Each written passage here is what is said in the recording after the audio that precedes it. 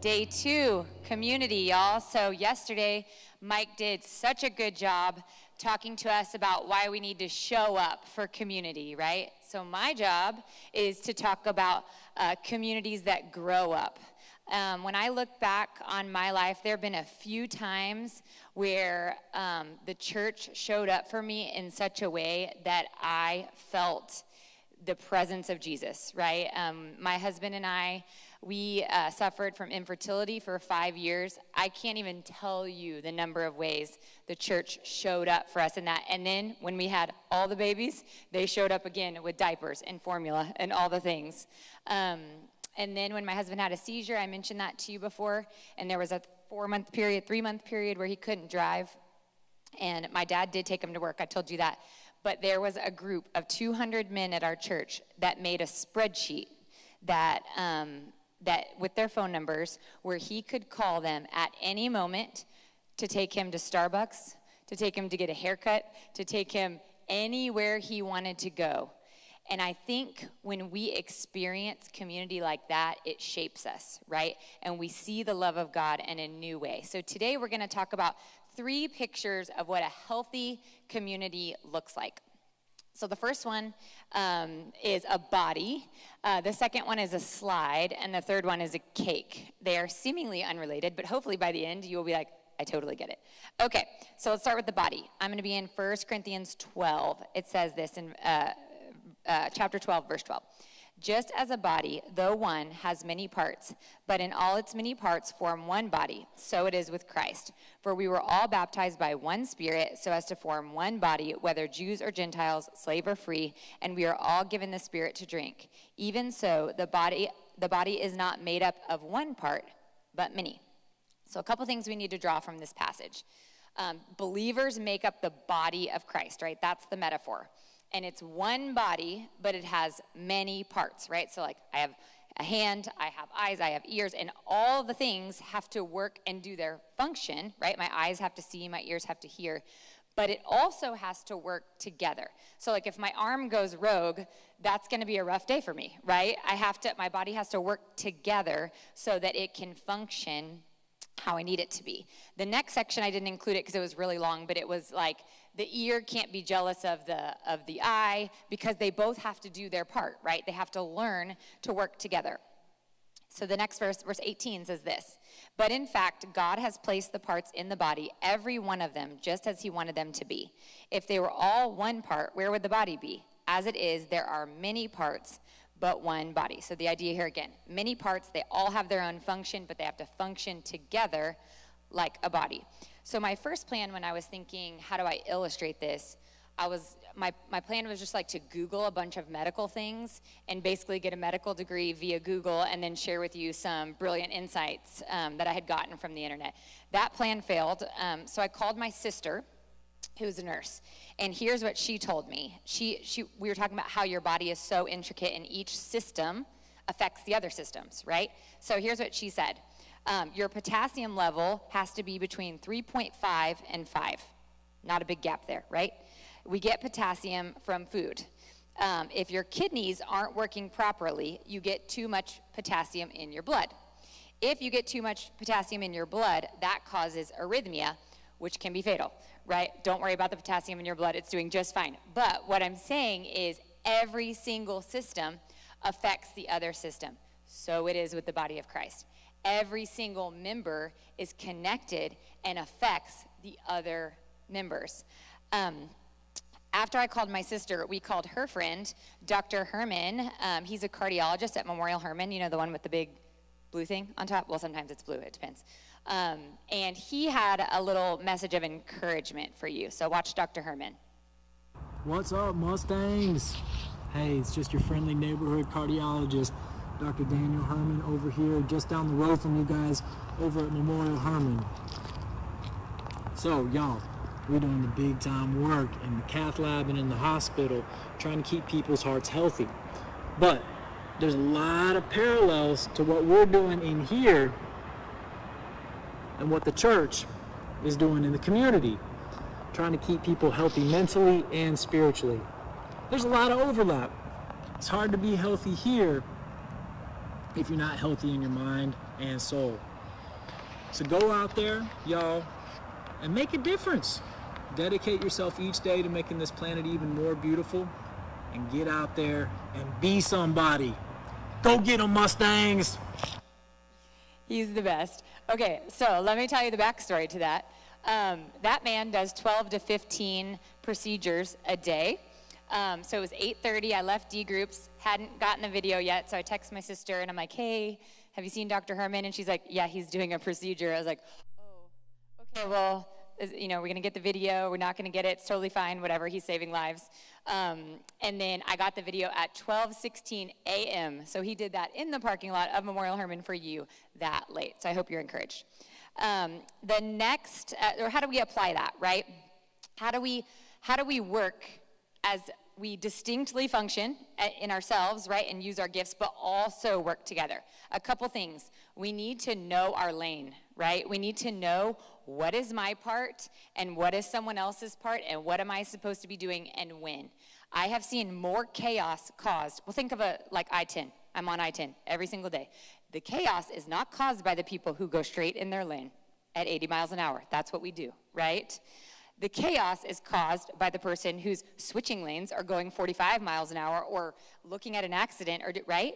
The people who know their lane and they do their thing, the whole thing functions just right when we do that. The second part is we encourage others in their lanes, right? So, hey, you're doing this thing, you're doing great at it, and we don't have to compete. We don't have to compare and compete because God has created us uniquely, but to work together. Um, we need to look for places that we can build up the body, right? Look for places where we can be helpful. That's one thing I love about this community. Last night I was putting um, drinks in the cooler for D groups, which is kind of a big job because there's lots of drinks and you can't like really shake them or, you know, the whole, that, that situation. So I'm like carefully putting them in and someone came in and immediately said, a, a kid, where can I start? Where do I help? And that's the way things work here. And I absolutely love that. So look for a place where you can help no matter where you are. Um, and then look for places where you have complementary gifts. If you know you have a weakness, find somebody who has a strength, right? And work with that person. The second um, picture is a slide. Um, so I'm going to be in 1 Corinthians 12, 24 through 26. But God has put the body together, giving greater honor to the parts that lacked it, so that there should be no division in the body, but that its parts should have equal concern for each other. If one part suffers, every part suffers with it. If one part is honored, every part rejoices with it. Here we have that same picture again, right? We have the body working together, and when one part of it suffers, you all suffer. If you have, a, if you ever had a hangnail, it's like the tiniest thing, but can ruin your day, right? Because you're suffering. You're one, that one little thing is suffering on you. The same is true with the body of Christ. We suffer together, we rejoice together. Um, a couple other things in this passage God has put the body together. So if you're frustrated with community, talk to God about it, right? Because it was His idea and He has put it together. No division, equal concern. Every part cares for the other. So let's talk about the slide. This story is kind of involved, so I need you to stay with me. Okay. Um, so this particular day, if you have four children, um, sometimes a lot of fun things happen on one day, right? So it was fairy, this was September 29th. It was fairy tale day. That's my son Ethan. He's dressed as Peter Pan. This is important later. These are my girls. This was admittedly not taken on uh, Mini Mustangs Day, but after they uh, received special pom poms from Mrs. Young, because she's awesome. Okay, so it was Mini Mustang Day and Fairy Tale Day, right? With me so far. Okay, so we live far away. It was when we dropped the girls off at Mini Mustang Camp, I then had the boys. And the girls were going to perform later, right? So we live in Katy, don't have time to go home. So we decided to go to Chick fil A. I also convinced my friend to go to Chick fil A. She also has four children two girls, two boys. So together, we have eight children four girls, four boys. The four girls are at Mini Mustang, which was amazing, by the way. Love you if you participated in that. Okay. The four boys are with us at Chick fil A. So I order my spicy chicken sandwich and diet lemonade, and I sit down. My kids get there, they go to the play place. Obviously, that's why we're at Chick fil A. Then the food comes. All four boys are in the play place. You still with me? Yes, okay. Two, my two come out because they have food. My friends' kids weren't even eating, so they continue to play. Everything's fine. A little later, her two boys come out, my friend, Laurel is her name. Um, and her two boys, there's like kind of a commotion. And I know something is not right, but I do not know yet what that thing is. Then I quickly learned that a friend, a toddler, has pooped on the slide. And I know, I know. I'm sorry you're hearing this, but I had to live it. Um, so then her two kids then slid down the slide. So they come out, you're in a restaurant, mind you, and so they have not their own poop on them. And so their mother is a good mother, and she immediately gets to work, right? Like she's she's got wipes. I don't even know where it came from. She's you know she's doing things. I'm still eating my spicy chicken sandwich because I'm a good friend. And I was like, oh, oh I'm so sorry. What a bummer. Now, mind you, I got her to come to Chick Fil A. Remember that part? So she is she's you know handling it, and I'm like, you know what? I have Peter Pan pants in the car. Let me go. Remember Peter Pan Day? You never know what's going to be in the minivan. So I go get the Peter Pan pants. She has a t-shirt in her car. So she goes and gets that. She fashions the t-shirt into shorts somehow. And, um, and then her other kid has Peter Pan pants. At some point during my enjoying of the chicken sandwich, she looks at me and says, should we check your kids? And I was like, I th- no, I think they're fine. They stand up. They also are covered in, in poop. And now I've given away the Peter Pan pants see the stress, right? So I, I clean, probably didn't do a good a as good a job as Laurel, but I clean them off. I do have one more pair of shorts in the Magic minivan. But then my youngest, he um, just had to wear his poop pants. So you can see in this photo, child on the left, Peter Pan pants. Next one, that's a t-shirt that he's wearing as shorts. The next one, poop pants. And Ethan is wearing the one pair of clean shorts that we actually had. So I call my husband because we still got to come back to the game, right?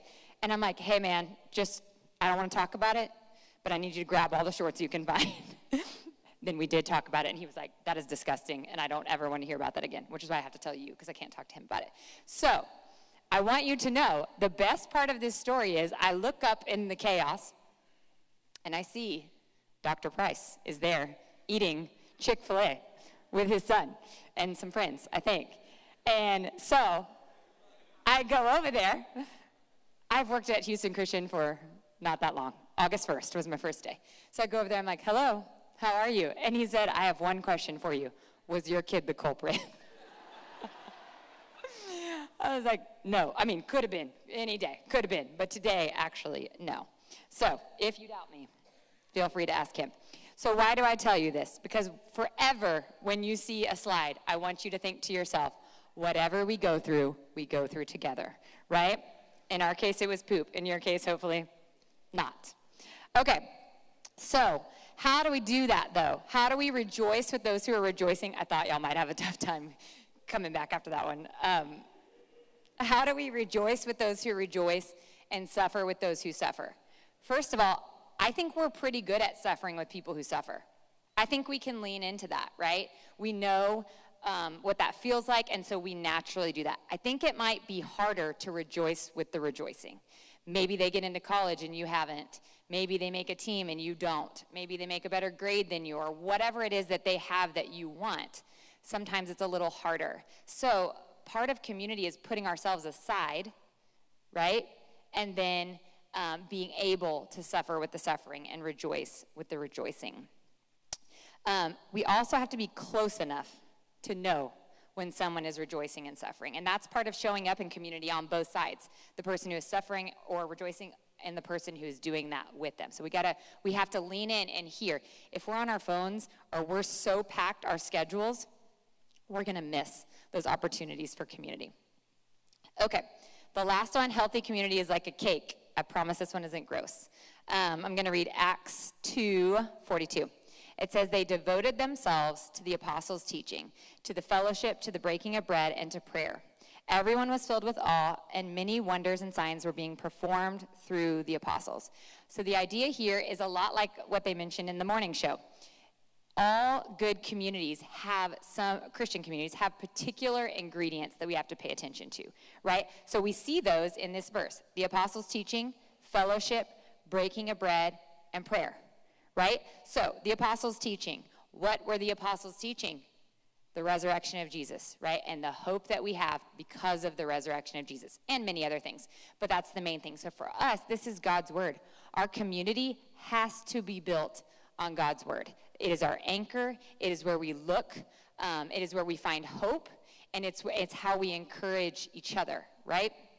Um, the second one, fellowship. Listen to this quote. This is about the early church. That's the context of this passage. Even though their fellowship included material goods, which it definitely did, its primary reference must be to the ideas, attitudes, purpose, mission, and activities that Christians share. Imagine if we were aligned on all those fronts, right? That creates amazing community when you're able to share in those things. Um, breaking of bread. So this would be both the Lord's Supper and just eating together, right? Relationships are built on shared experience. Food is one of those very ordinary things, like my Chick fil A story. Me and Laurel, I assure you, we will never forget that day in our friendship, right? And relationships are built in those very ordinary places at your lunch table. Uh, and then prayer. Prayer is an expression of dependence, and when the people of God really feel their need, you will find them flocking together to pray. A, neg- a, neglected prayer meeting indicates very little recognition of one's true need. When we pray, we are recognizing our need for God, and then when we're, doing that together, we recognize our need for each other, which is the best place that a community can be. So, um, I want to show you my friend Sarah. Um, she's the cutest. So Sarah is Sarah Bramlett is her name.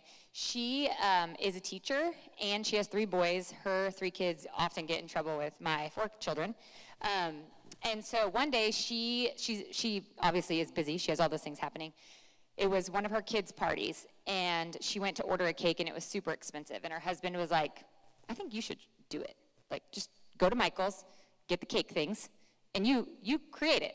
So not only did she do that, but she was so good at it. She does have a degree in sculpture, so I do think she had a leg up on like the rest of us. But um, not only was she good at it, but she is now sold out. I looked at her website yesterday. You can't order any more cakes for her in 2023. You have to be like a year ahead. So I've never had a Bramlett cake because I've never been a year ahead for anything. But um, these are some of her creations. The middle one she made for J.J. Watt's wife because you know she's doing that. Um, so I'm telling you about Sarah because we did a Bible study. This is hard to explain. A cake themed Bible study together. So she did like live cake, cake decorating, and I did the Bible study part. And what was interesting is the, the minute the people got their phones out wasn't when she was decorating, wasn't when she was doing anything else, but when she said, I want to tell you my buttercream recipe. Everyone got their phones out, got their notepads out. Why? Because they were about to hear the ingredients that then they could recreate her very special buttercream, right? You can't just willy nilly throw things in. And the same is true with community. We have to really care about the ingredients. We have to watch what's happening with those and pay attention. So, is our community built on the right ingredients? Are we building it on God's word? Are we dependent on Him in prayer? Are we characterized by sharing carbs and shared time? Do we um, share our experiences together? What ingredients are overdone? What are lacking? These are the things we need to be talking about in our communities, right? So that we have a community that reflects our dependence on God and each other. In conclusion, we have one last picture. I didn't really count it. Um, according to canva.com, this is a redwood forest. Um, and redwood trees are really interesting, and here's why. So, the largest redwood tree has a height of 275 feet and a diameter of 36 feet at the base. These trees are enormous. So, you would think that they have really deep roots, right? If they're that tall, you would think they have really deep roots, but they don't. Their roots are only 6 to 12 feet deep. And the reason that they withstand, these are some of the oldest forests. The reason that they withstand all the storms and all the things is not because they have deep roots, it's because they have interconnected roots. And I think what we can pull from that is it's not your own strength that matters. It's the strength of your community. When we are interconnected like God has designed us to be, we find that strength in Him first and then in each other. Let's be that kind of community. Let's pray. Lord, thank you so much for the people in this room. Thank you for the hope we have in you. Thank you that you knew what we need, needed, even when we don't recognize that ourselves. I thank you for this community that has the right ingredients, and I just pray that we would continue to walk in that. I pray that we would love each other well. I pray that you would help us um, to go through what we go through together, and that we would seek you and love you. It's in your name we pray. Amen.